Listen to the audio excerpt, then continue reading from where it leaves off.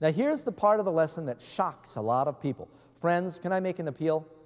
Let's agree right now that we're going to go by what God's Word says. Is that fair? Let's get our information not from the National Enquirer or from some out of body experience somebody had, but let's find out what the Bible says. The book of Revelation pictures three angels speeding to our planet. They carry urgent messages of warning and hope to prepare us for Jesus' return. These divine prophecies provide us with a vivid window revealing future events for our world. In God's Word, a special blessing is promised for all who seek to understand these prophecies. With this in mind, Amazing Facts brings you A New Revelation with Doug Batchelor. Author and TV host Doug Batchelor has thrilled thousands around the world with these fascinating presentations. This new Revelation seminar is a complete Bible study the whole family will enjoy. Clear cut logic, spontaneous humor, and beautifully illustrated study guides will bring the Bible to life as never before. Today's message Are the dead really dead? And now, a new revelation. Heavenly Father, it is our privilege to be here tonight in your presence.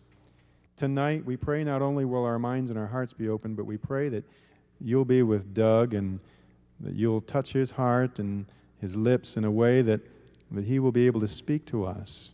And we will sense your presence and rejoice in what you are leading us to believe and to become, is our prayer in Jesus' name. Amen. Good evening. Good to see everybody. And we're looking forward to our study tonight. Want to welcome those who are worshiping with us at home to our seminar. And we're going to uh, get into some Bible questions. Want to thank Pastor Dave for helping each night. We have a good stack, and tonight we're going to do our best. To, a lot of good questions came in last night. You know, I almost wish we could take one of our nights off and meet and just do Bible questions during the night because uh, there's so many questions that I want to answer. We just don't have time for them all. But we're going to go through in machine gun form. The questioner is 14 years old and is wanting to know is having a crush on someone a sin? Is it wrong to have a crush on someone? You know, as you begin to mature, your emotional love muscles start to exercise and you become attached. Uh, I had a crush on one of my teachers in fourth grade. Never forgot her, Mrs. Morinci. She beat me arm wrestling and I was in love. And, um, you know, I got over it. Uh, at the time, you think you're going to die if you can't spend the rest of your life with this person. Of course, there was about a 10 year age difference, and it wasn't very realistic. Um, try to control your heart's affections. Now, is it wrong to have a crush on a person? Well, it's not wrong to be attracted to somebody, but we did talk last night about being careful to guard your thoughts so you don't start daydreaming with impure thoughts that are not appropriate and that's where it would border into the realm of being a sin. Does God still create angels today? There's no record that God is still creating angelic ministering spirits. We don't know. The Bible is silent on that. Could you please talk some more about dating, sex, etc.? Just make sure you get them in the right order. Um, I don't know if we're going to get to it. Someone else asked, a lot of questions came in. I could have talked three hours on our subject last night. Uh, a lot of questions came in dealing with dating and sex, and someone asked a question. We've been dating, we're looking forward to marriage, we're having a hard time controlling our urges. Should we marry so that we don't uh, you know, make that mistake? Well, you know, the Bible makes a statement that's sometimes hard to interpret. It says it's better to marry than burn. And Paul seems to say that in the context that if a person is burning with passion and desire, uh, you know, those desires are created by God to be fulfilled within the confines of a Christian marriage.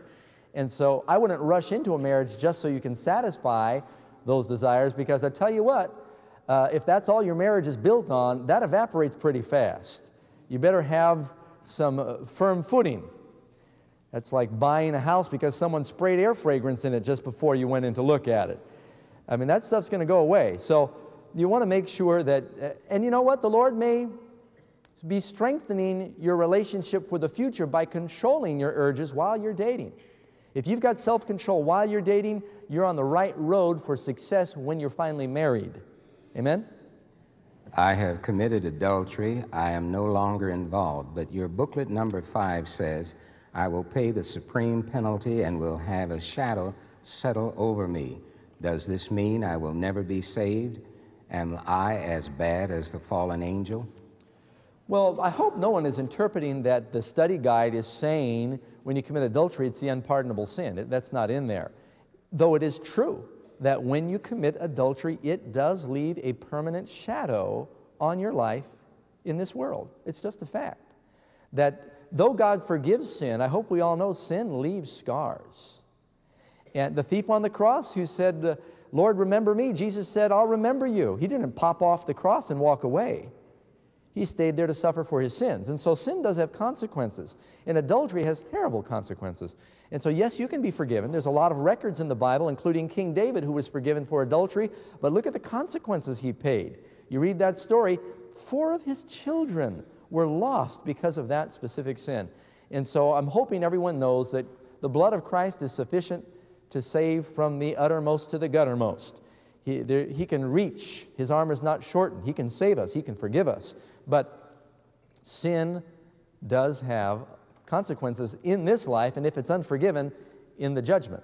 What are the seven heads and ten horns and ten crowns on the beast of Revelation 17? We have a lesson on that. I included the question just so you'll know we're not ignoring these things. We have a lesson coming on the beast. Where did the tradition of kneeling when we pray come from? Kneeling during prayer is not a tradition, it is in the Bible. When you your, your, your body language, when you talk to each other, sometimes tells how you're listening. What does it mean when you're telling someone what your point of view is and they fold their arms and look away? What does that mean? They're not listening, they don't agree, they're take, taking a stand.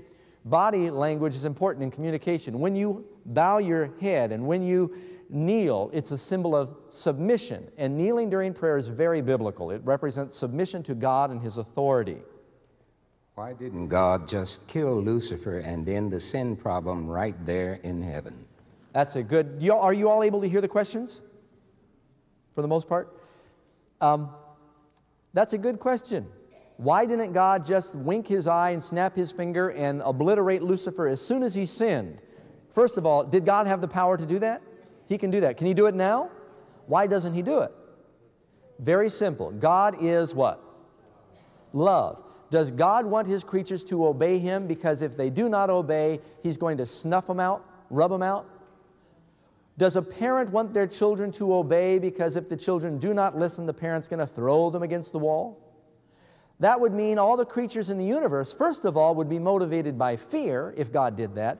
Secondly, they would be thinking within themselves, hey, you know, Lucifer made some accusations about God and his love and government. Maybe he was right there would forever be doubts in their mind on God's truth, justice, love, and goodness.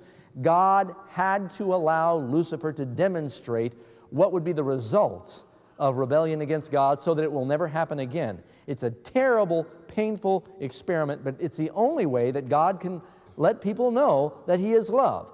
So He did not just kill Lucifer, He allowed the whole universe to see.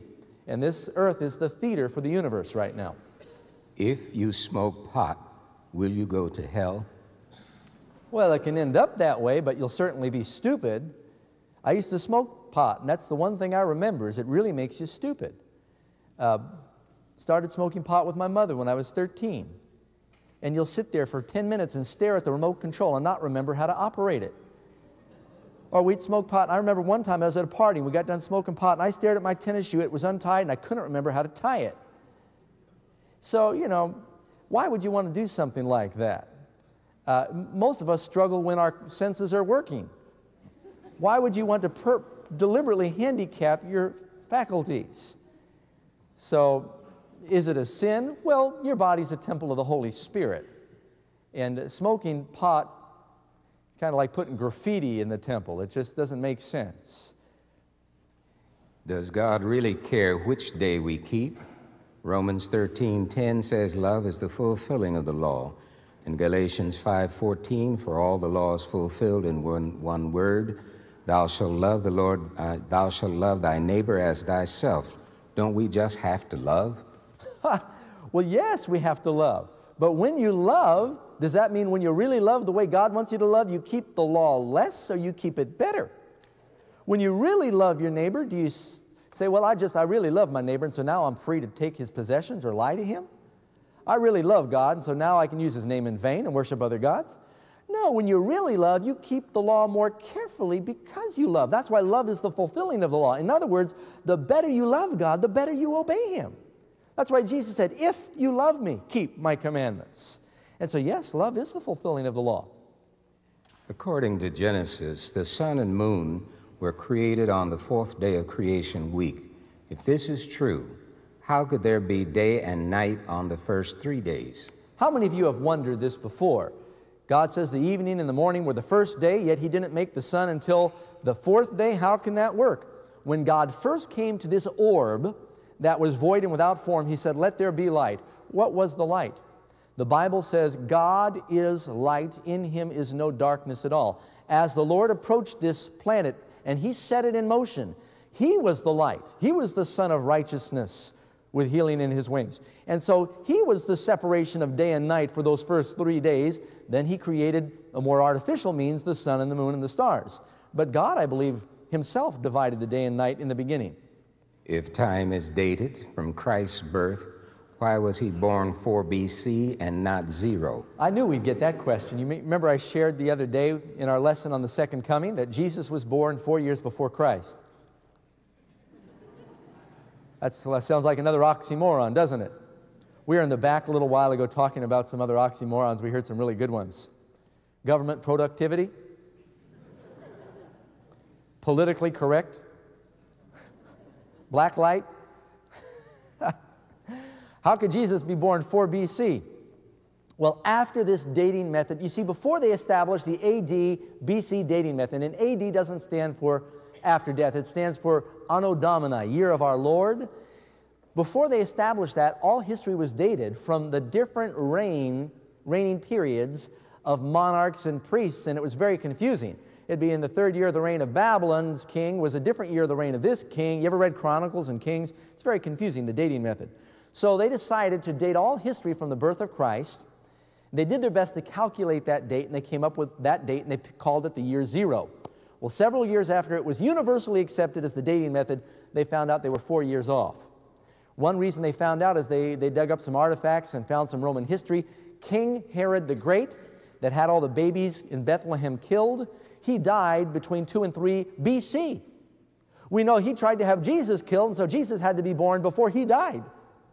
And so they finally pinpointed the date of Christ's birth for about 4 BC. What happens if you've gone too far before marriage? What do you do? Well, you, you can agree, uh, if you're not married yet, if you can agree with the person you're dating or courting that this isn't appropriate and do not allow yourself to get in a situation where you will be tempted again. For one thing, a lot of young people get into trouble doing things they never planned on doing because they start flipping switches and pulling buttons that are designed to lead to sex. And you know, you get alone. If there's witnesses around, people behave a lot better. Keep plenty of witnesses. You get alone and you start kissing and touching and pretty soon the hormones begin to rage, and it's very hard to know how far is too far and when to stop. And the next thing you know, you're sorry. And so don't get in those situations. And you know, you can regain your integrity and dignity and self respect by agreeing with the person you're dating. We've made a mistake. Pray to God, Lord, forgive us, accept His forgiveness, and then don't do it again. Amen? Repent and be sorry enough to stop. Is it wrong to have tattoos? No, as long as they're not on your body. the Bible tells us that your body's a temple of the Holy Spirit, like I just said. I mean, you wouldn't go and let a, a group of, uh, a gang loose in the temple of God with spray paint to express themselves, would you? The Bible says you are not to make markings or cuttings in your flesh, for you are the temple of God. And that would, of course, include tattoos.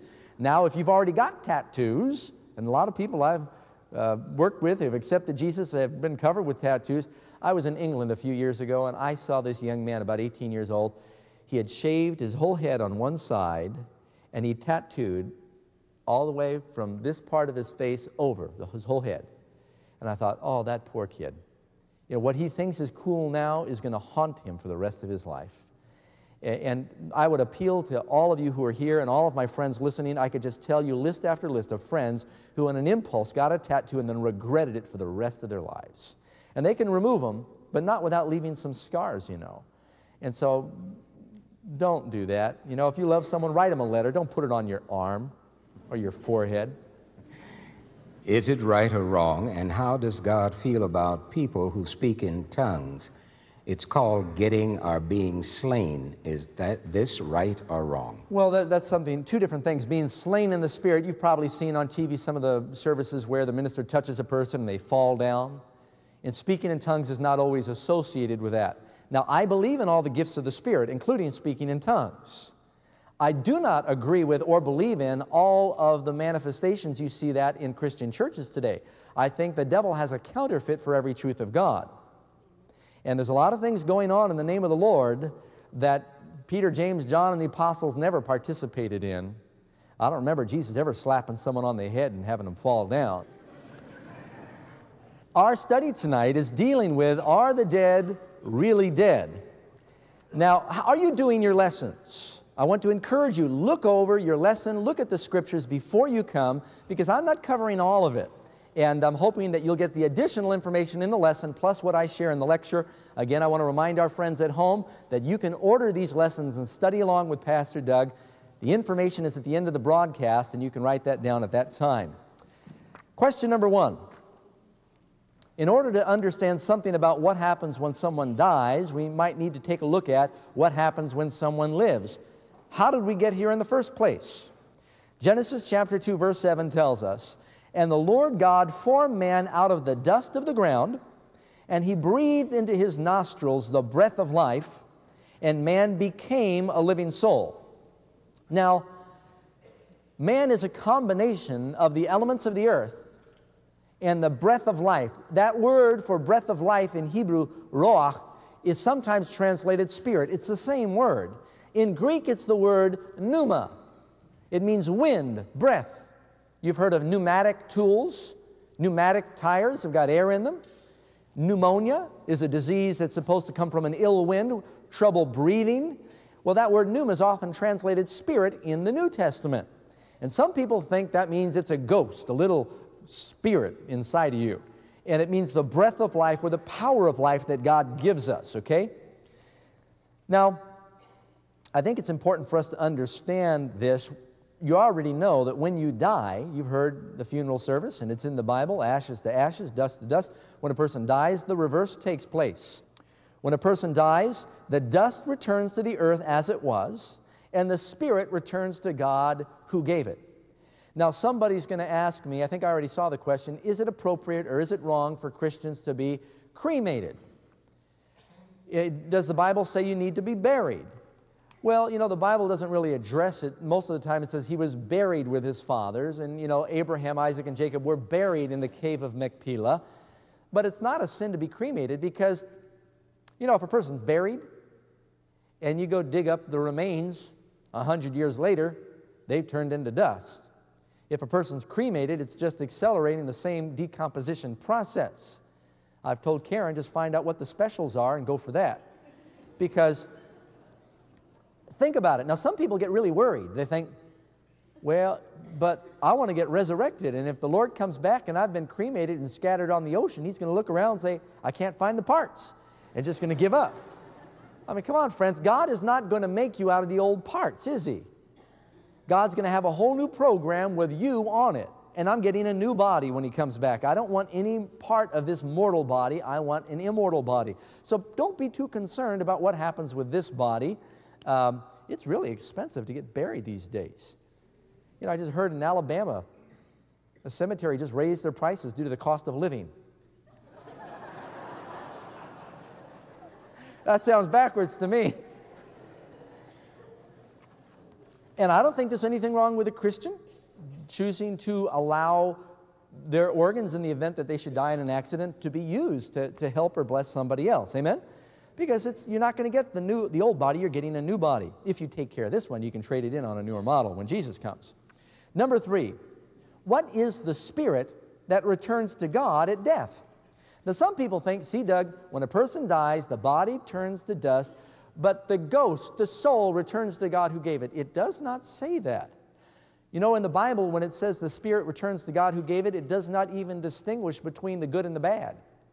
It does not even distinguish there in Ecclesiastes chapter 12 between animal and human. It's talking about the spirit of all living creatures returns to God who gave it. In other words, the breath of life returns to God who gave it. Some people read this at funerals and they think that that means their soul suddenly was ushered up to God. The Bible very clearly distinguishes between body, soul, and spirit are three distinct things. Would you like to see a soul? Now you got to cooperate. How many of you would like to see a soul? I can show you one right now. All right, everybody, close your eyes. You don't trust me. You're watching. I see you looking at me. close your eyes. Okay. Now you got to tune in with your alpha brain levels. If you sense there is another living being, close your eyes. If you sense there's another living being around you, without opening your eyes, slowly turn your head in that direction with your eyes closed. Okay, when I count to three, open your eyes. One, two, three. Boo, that's a soul. you are a soul. The Bible tells us there that God breathed into Adam and he became a living soul. The combination of the breath of life and the elements of earth equal a soul. It's as though I have here some nails and some wood. I take the nails and I take the wood and I assemble them and I suddenly have a box. When I remove the nails and put them over here, and I remove the pieces of wood and put them over here, where's the box? Well, it ceases to be a box when you separate the two. You cease to be a soul when you separate the breath of life with the elements of earth. The spirit of life returns to God who gave it. In other words, it's the power of life. See, the Jews actually had it right. There is no life in the world without air. All creatures in this world, fish breathe, birds breathe, worms breathe through their skin. Leaves, plants breathe. The same breath that a bear breathes, you breathe, and a cat and a dog breathes. And when the breath of life is gone, you're dead. The breath, the power of life returns to God who gave it. We've got all these different appliances in this building that are operating on electricity. If we kill the power, they all go dead. Where'd the power go? Back to the wall where it came from, or back to the generator where it came from. This is what God is telling you. It's not saying that when you die, suddenly a little butterfly or ghost jumps out of you and runs off to the Lord. You're sleeping, awaiting the resurrection. Number four, what is a soul? And the Lord God formed man from the dust of the ground and breathed into his nostrils the breath of life, and he became a soul. Does it say that God gave him a soul? No it says he became a soul. The combination of those two things equal the soul. Man became a living soul. Number five, do souls die? Now, how many of you have heard people say or sing or preach about how we all have an immortal soul? Come on, you've heard that. Show me where in the Bible, I'll wait, it says that man has an immortal soul. Got several hundred people here. Someone must know the scripture that says we have an immortal soul. It's not in the Bible. Matter of fact, if you look in the Bible, you'll find it tells us God and God only hath immortality. God is the only one who's immortal. God gives you immortality when Jesus comes and you get your glorified immortal body. Amen? Until that time, we're mortal. Mortal means you die, and I die. Immortality is a gift that comes when Jesus comes and gives us our new bodies. The Bible says, The soul that sinneth, it shall die. Every living soul in the sea died. Revelation chapter 16, verse 3. Even the souls of animals died. Friends, find a pen and take down our 800 number and mailing address. We have a wonderful free gift that goes right along with what you're seeing and hearing today. It's the beautifully illustrated complimentary study guide. Our operators are standing by for your call at 800 835 6906. Make certain you give the title of today's study when you phone. And by all means, write us at Amazing Facts, P.O. Box 909, Roseville, California 95678. Look for this address again at the end of today's telecast. For good in the U.S., Canada, and U.S. territories. Friends, I think you know that a camera lens is a little impersonal. That's why I want to hear from you. I treasure each one of your cards, your letters, your words of encouragement, and your comments. We also appreciate your prayer requests. Our office staff gathers every day to pray over each one of them. The address is Amazing Facts, P.O. Box 909, Roseville, California 95678. God bless you, and I thank you in advance. Do good people go to heaven right when they die? What does the Bible teach on this? Now, here's the part of the lesson that shocks a lot of people. Friends, can I make an appeal? Let's agree right now that we're going to go by what God's Word says. Is that fair? Let's get our information not from the National Enquirer or from some out of body experience somebody had, but let's find out what the Bible says. Do people go right to heaven when they die, or, or they, are they waiting for the resurrection? You know, well, first let me read the answer to this one. All that are in their graves will hear his voice and come forth. When? when Jesus comes. Acts chapter 2. Matter of fact, turn in your Bibles with me. Acts chapter 2, verse 29. I want to read some scriptures with you real quick. Men and brethren, let me freely speak unto you of the patriarch David, that he is both dead and buried, and his sepulchre, his tomb, is with us unto this day. Now, Nathan the prophet said to David, You will sleep with your fathers. Here we are, Peter is preaching on Pentecost. This is 50 days after the resurrection. David hasn't made it to heaven yet. He's either taken a slow train or he's still there in the grave. Now, was David good or bad? King David. Well, Bible says he was a man after God's own heart. We expect to see him in the kingdom. And here it says he's dead and buried. Turn down to verse 34.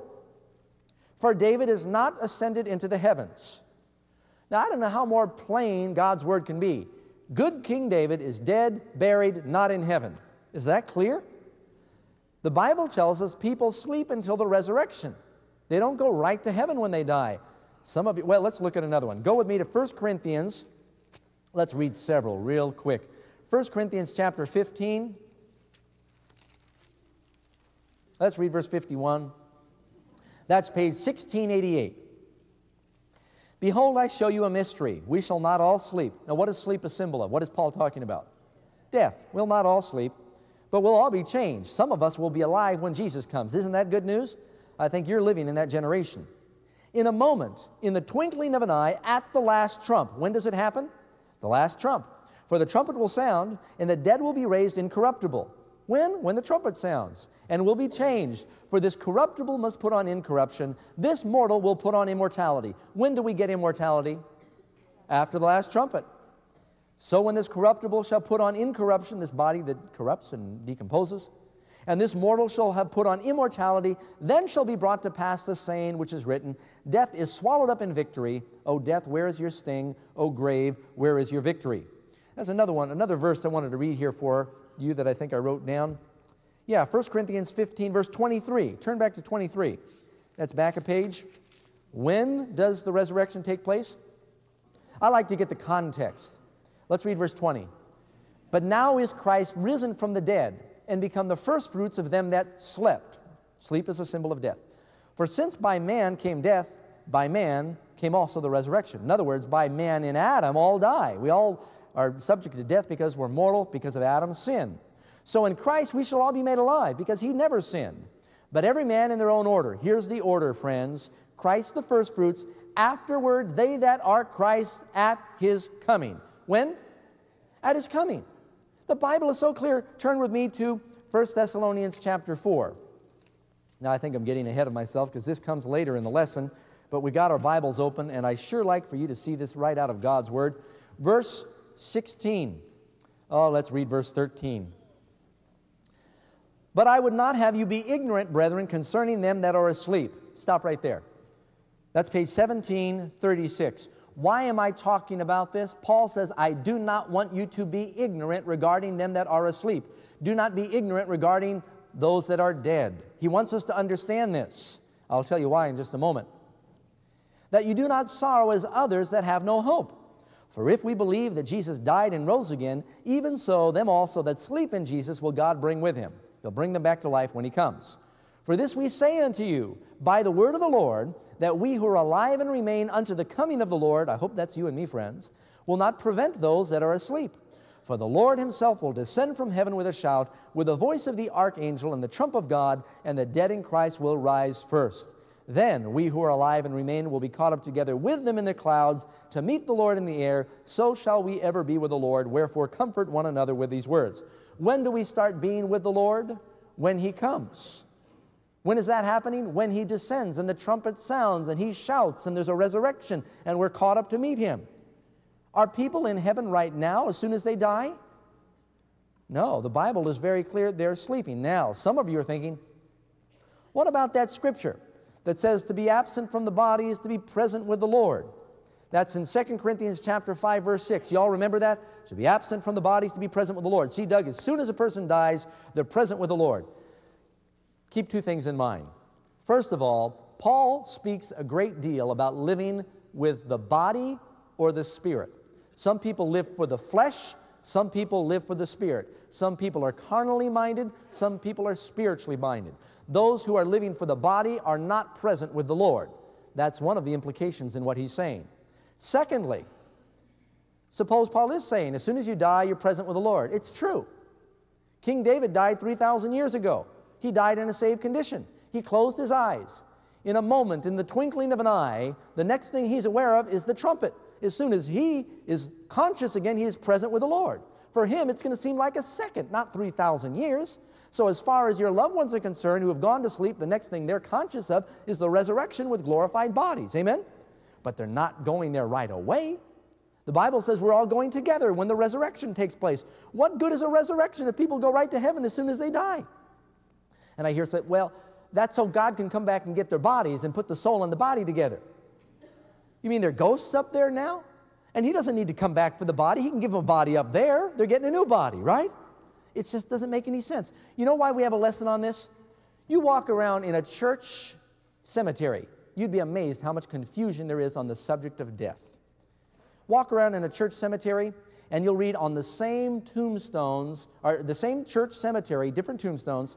One tombstone will say, Our dearly beloved mother departed now singing with the angels, marching on golden streets. Beautiful poems. You ever read cemeteries? Some of them are very touching. You'll see a mother, and the date of death is the same as the baby in the grave next to her. She evidently died giving birth or something. You can learn a lot just by walking through a cemetery. Then you go to another tombstone, and it will say, same church cemetery, it'll say, Our beloved mother, sleeping sweetly in the arms of Jesus, waiting for the resurrection morn. People are confused. Where's mom? What happens when you die? Now, why does it matter that we understand this?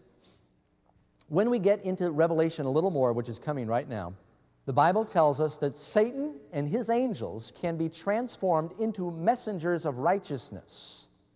The Bible tells us how demons impersonated the prophet Samuel and deceived Saul, and he died the next day. In the last days, tells us three unclean spirits in Revelation come out of the mouth of the beast, the dragon, and the false prophet. They go forth to the leaders of the world, performing miracles for the purpose of deceiving. Isn't it interesting? We've had a couple of presidents lately and their wives that are consulting astrologers and necromancers and mediums who talk to the dead. That's pretty scary, friends. You've got to know that the dead are dead, or you can be deceived. They're sleeping. The Bible says they don't know anything. Heard about a lady in San Francisco. Her son was in Vietnam. She received one of those tragic messages during the Vietnam War that was delivered. We regret to inform you your son is missing in action and presumed dead. Well, she was devastated. She spent several days without leaving her apartment there in San Francisco. She had been a Christian. She prayed for her son that God would spare him every day because he was not a Christian. One day, while she was in her room sobbing, her son appeared at the foot of her bed. She was, of course, shocked. She was feeling this mingling of emotions. She was happy to see her son, but at the same time, everything she had ever read in her Bible said that he was sleeping until the resurrection. And furthermore, her son was not even a Christian. And now he's appearing at the foot of her bed saying, Mom, I'm okay. I'm in heaven now. Everyone's going to make it eventually. The things in the Bible that talk about the destruction of the wicked and hell, they're just there to frighten people into being good. And he appeared to her several times, and she was so twisted with emotion, she didn't know what to think, and she kept saying, This cannot be right. It's not according to the Bible. And, and uh, her son that appeared to her in these apparitions would say, Well, the Bible has been changed by men. You cannot really trust it. That's what this ghost was saying to her. That looked just like her son, talked just like her son. Then one day the doorbell rang, rang, and her son is now appearing at the door. She said, Why are you appearing here at the door? You're usually in the bedroom. And he said, What are you talking about? His arm was in a sling. It was her real son. He was alive. The devil's messed up somewhere in their database. that was not her son that appeared at the foot of her bed. Something appeared. The devils are going to use this false understanding about what happens when you die to deceive people in the last days, and Christians need to know what the Bible teaches that the living know they'll die, but the dead don't know anything. They're asleep, they're unconscious. Amen?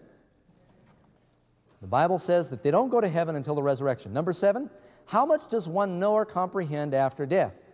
Answer, the living know they'll die. And this is found in Ecclesiastes 9, verse 5 and 6. The living know they'll die, but the dead know not anything. Neither have they any more a reward, for the memory of them is forgotten. Also, their love, their hatred, their envy is now perished.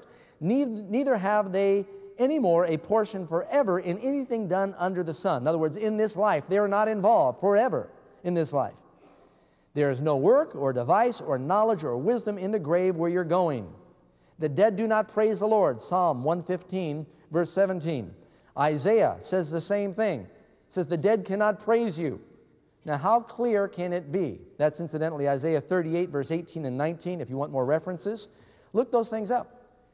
If people go right to be with the Lord, and the Bible says the dead cannot praise the Lord, how do you reconcile that? First thing I'd do if I got to heaven is start praising God. How about you? They're asleep, dreamless, unconscious sleep. But can't the dead communicate with the living? Number eight. And aren't they aware of what the living are doing? I mean, you know, I remember I, I was married 50 years, and then after I died, I couldn't decide whether or not to buy a Ford or a Chevrolet, and my husband appeared to me and he said, Buy a Chevy. No, I've had people tell me things like this.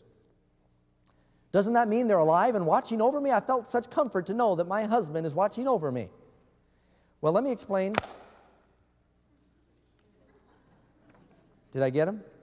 No, but I scared him real good. We've got all the flies coming in the building because we've had the windows open, and so uh, we got to get him when we can. I almost sent him to his reward, and he was about to know nothing. you know, if someone's married 50 years, your mind is filled with memories of that person, right? And I've talked to dear Christian saints, and you know, usually the men go before the ladies. Of course, I knew one church member I took care of, Clyde Cochran. He lived to be 101. He married when he was 50 years old. He never dreamed he'd celebrate his 50th anniversary when he married at 50. And he outlived a couple of wives. But typically, the ladies outlive the men, statistics tell us. And I know there's a lot of widows here and watching the program. And you've been married to someone a long time, and then they're gone, and you grieve for years because your mind is full of memories. And I had a lot of them tell me, you know, I'll turn around, I'll think they're there in the hall, I'll turn around to say something to them, and then I'll remember they're gone and they'll start crying again. It's normal because of the way our minds are made to sense a person being around when your mind is filled with them. All of my life, from the time I was born, I had an older brother named Falcon. Falcon and I were, he was my only brother. And my dad named us after aircraft. He was named Falcon. I was named Douglas after the DC craft. And uh, my brother died of cystic fibrosis when he was 35. Well, 35 years, or 32 years of my life, I could always pick up the phone and call Falcon. I had it in auto dial on my phone. And even two years after he died, one day I was flipping through my phone memory things and I saw Falcon. I said, Oh, I haven't talked to Falcon. I pressed the number and picked up the phone to talk to him. And then I realized he had died. I'd forgotten for a moment. And it was like he was there. Now, if he'd answered the phone, I would have been pretty scared. Because I know that he doesn't know anything right now.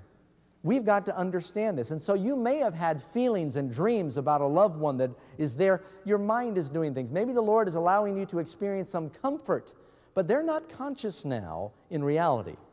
Let's go by what God's Word tells us. Nine. Jesus calls the unconscious state of dead sleep. How long will they sleep? Now, do Christians die or do they just go to sleep? Bible tells us Christians don't really die, they just go to sleep. We don't have to be afraid of death. The Bible says Jesus yielded up the spirit. He went to sleep. Stephen was stoned and he went to sleep. King David went to sleep. And we're going to wake up when Jesus comes. Amen? You don't have to be afraid. The world is afraid of death. Woody Allen said, I'm not afraid of death, I just don't want to be there when it happens. But most of the world is really afraid. It's asleep. The Bible says in Job chapter 14, verse 12, Son of man, lie down and riseth not, till the heavens be no more. When will he rise? When the heavens are no more. The day of the Lord will come in which the heavens pass away. When Jesus comes and the trumpet blasts, then the dead in Christ will rise. Number 10, what happens to the righteous dead at the second coming of Christ? Behold, I come quickly, Jesus tells us. My reward is with me to give to every man according to his work.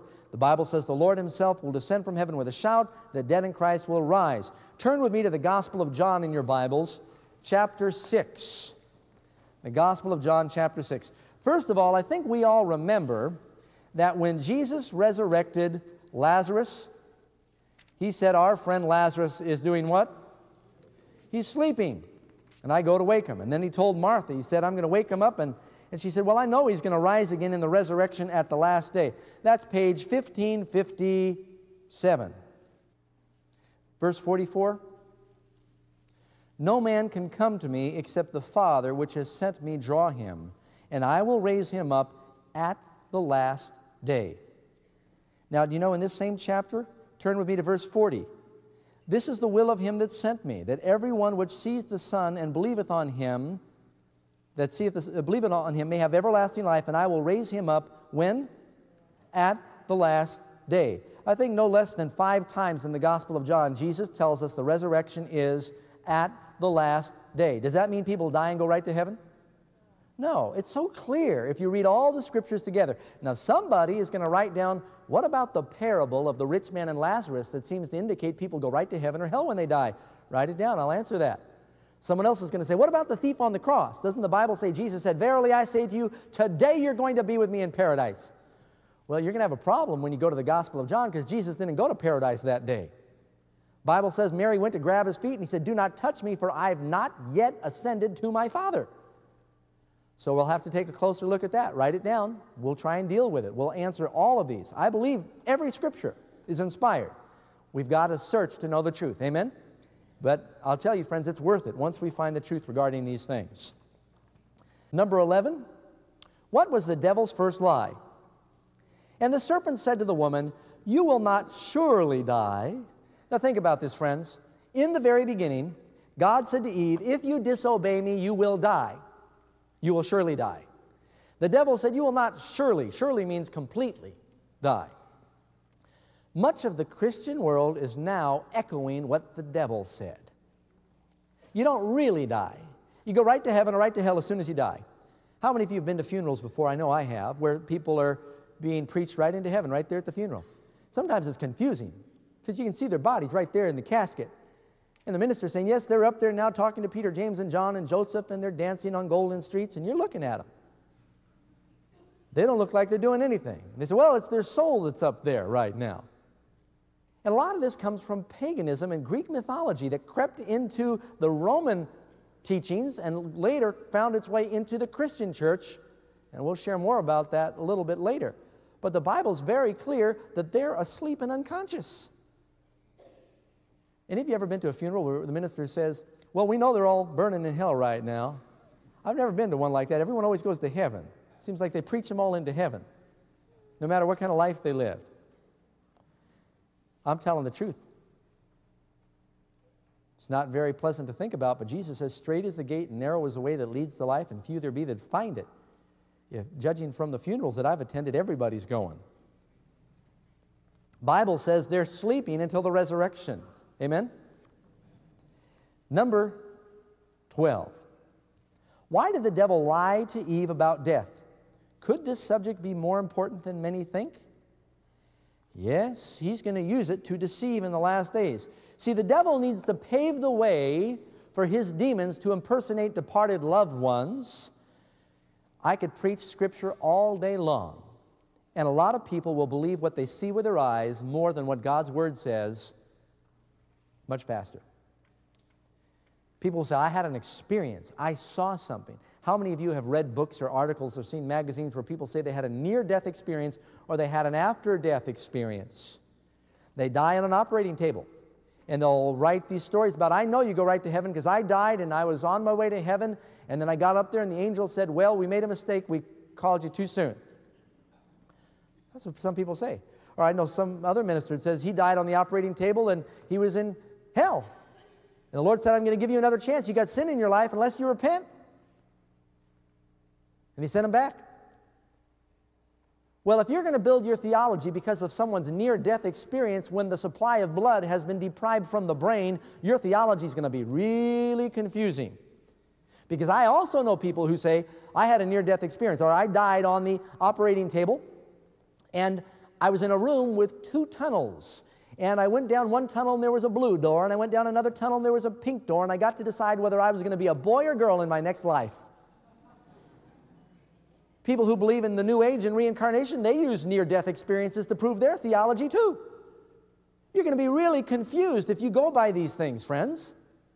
A good friend of mine who's a doctor told me, and he worked a lot with heart operations. He said people die a lot on the operating table, and he says they're not clinically dead, it may, it may even go several minutes where the heart is not beating, and they'll have all kinds of hallucinations and visions, and they'll claim to levitate above their bodies and hear conversations.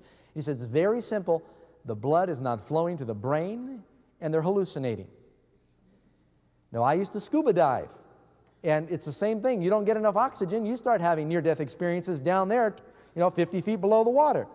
And so you cannot build your theology on someone's experience, friends according to the Word of God. Amen? According to the law and the testimony. That's the only safe way to go. And you don't build it on dreams. You don't say, Well, I know this is true because I had a dream. I had a dream one time that Jesus came for me when I was living up in the cave. He came to take me to heaven, and He came in a bumper car. You ever been to the amusement park and they got these bumper cars? Now, that was just a little personal thing between me and Jesus because I used to go to the amusement park and the rides on the bumper car were never long enough. And Jesus coming in a bumper car was, for me, a sign of the ultimate pleasure. We were going to heaven in a bumper car forever. And so now I'm not going to say, do you think I'm going to teach people Jesus is coming in a bumper car because I dreamed about it? I know. And this is how people are building their theology now their feelings and their, their dreams, and they die on the operating table. What does the Bible say? Amen? That has to be the foundation for our teachings. Number 13. Do devils really work miracles? Oh, yeah. How many of you remember in Genesis there, or Exodus rather, when uh, Moses came before the Pharaoh, he threw down his rod, it turned into what? A serpent. The Pharaoh commanded, and his magicians came in. They threw down their rods, and they turned into serpents. Moses' serpent, of course, ate their serpents, and they didn't have any serpents or rods anymore, but hey, they could create illusions. Matter of fact, they were able to imitate several of the plagues until it was the lice. Once the lice came, they were scratching so hard they didn't have time to try and conjure those things up. But the devil is a master of illusion. And you might think, well, boy, I tell you, this ghost appeared to me and he knows things that only he knew and I knew. You're forgetting someone else who knew. The devil knew. The devil knows and sees these things, and he can really deceive you. He can pretend that he's Eleanor Roosevelt if he wants. Number 14. Why will God's people not be deceived? Answer They receive the Word of God with all readiness of mind. They search the Scriptures daily whether these things were so. If they speak not according to this Word, it's because there's no light in them. Where are we going to go to get our information about what happens when you die? A Ouija board? Tarot cards? Crystal ball? I think I told you they got just everywhere you look now, they got these psychics you can call and write to. And I think I mentioned to you, one of my friends called one of them up. First thing they said is, Can we have your credit card number? He said, You're the psychic, you tell me what my credit card number is. People in North America, we're supposed to be a civilized country, are very spiritualistic right now, consulting psychics and you know, all the tabloids are covered with modern predictions. People are going everywhere for this information, but to the Bible. And I think that's very dangerous, friends. Back in Moses' day, what did God command should be done to people who taught that the dead are really alive? Answer?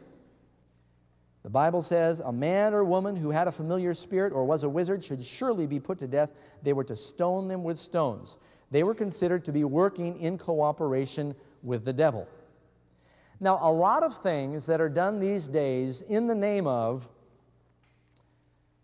spiritualism are just tricks. You know, if, if you look closely, a lot of these psychics that claim to have supernatural ability, it's just a lot of bamboozling and sleight of hand and tricks. Harry Houdini spent several years trying to expose these false psychics, and he exposed a lot of them, that they were just shams. But even though there's a lot of frauds out there, do not forget that the devil does have his representatives that do seem to have supernatural powers that he gives them. And they can make you see things and feel things and experience things. And friends, if you're building your foundation on anything other than what the Bible says, you are a sitting duck for the devil. I believe in the last days, friends, you're going to need to have such a firm faith on God's Word that you will believe what the Bible says rather than your senses. Jesus said in the last days the devil is going to go so far as even bringing fire down on the earth in the sight of men to deceive them. Jesus has warned us that the deceptions will be so convincing that if it were possible, the very elect would be deceived. That's why we need to know. Jesus tells us the very first thing he says in Matthew 24 regarding his second coming. The first thing he says is, Take heed that no man deceive you. For many will come in my name, saying, I am Christ, and then deceive people. The devil is going to pull all of the cards out, pull all of the tricks out of his bag. He's been practicing for 6,000 years in the last days. And you will be a lot safer going through this time of trouble if you know that the dead are asleep. Amen? They're not communicating with the living right now. The living know they'll die, but the dead know not anything. Job tells us a man dies and his sons may come to honor. He does not know it, he does not perceive it of them. And I like it better that way, frankly. Makes me a little edgy to think that all of my dearly departed ancestors that might be in heaven are spying on me all the time. It's enough knowing God's watching all the time without Grandma Batchelor looking down. She's sleeping, waiting the resurrection and her reward right along with everybody else. Bible is very clear, friends. I invite your questions on this subject, and I remind our friends that are watching, send for the lesson, and I think you'll find a lot of scriptures in here that I haven't even had time to share. Number 16, will the righteous people who are raised in the resurrection ever die again? No, that's good news, friends. We're going to rise to live forevermore. For the Christian, death is not a period, it's a comma, because Jesus is coming to give us everlasting bodies. Number 17, Belief in reincarnation is expanding rapidly today. Is this teaching biblical? No. Now, there is one reincarnation, you know. Bible says it's appointed unto man once to die. After that, you're going to get reincarnated for your reward. We'll all live again for our judgment and our reward. Amen? But a lot, I used to believe in reincarnation. And it was the most frustrating thing in the world for me because I kept trying to figure out what I learned in my life before and I could never remember. And so, what good was it? I could never benefit from whoever I was. And my mother used to hang around with a lot of folks who believed in reincarnation. It was amazing. They'd tell me who they were in their former lives. They were always somebody famous. Nobody was, you know, I was a poor beggar. There, I was Cleopatra. I was Napoleon in my former life. you know, with all due respect to, peop- to people that believe this, the Bible teaches that you are an individual, that you are not a mush of life that just keeps on coming back as molded clay again and again and again. You are a unique person that God made in His own image. Then there's no one else in the universe like you. And you, in this life, get to choose your eternal destiny. This life is your probation. Reincarnation makes the devil laugh because people think, well, if I don't get it right this time, I'll just work on it next life. And the devil wants you to think that because this is the time to decide what you're going to do for eternity, friends. There is only one reincarnation in the judgment. That's it. This is our time to decide. Now is the acceptable day. Number 18, are you thankful that the Bible tells us the truth on this sensitive subject of death? Isn't this good news, friends? That the dead are sleeping a dreamless, peaceful sleep. You know how refreshing that is to know that when someone dies, they don't go right to hell and start burning? I've had people call me up just torn to pieces. They'll say, My son or my daughter or some loved one died and they died lost. Are they burning in hell right now? And I could point them to the scriptures that say they're sleeping right now. People have been driven to madness with the concept that as soon as someone dies, they go right to heaven or to hell. And if their loved ones are not saved, for them to think while they walk the earth they're blistering in torment, that can drive a loving mother or father to distraction. God is good. He says they're asleep. Amen? Friends, find a pen and take down our 800 number and mailing address. We have a wonderful free gift that goes right along with what you're seeing and hearing today.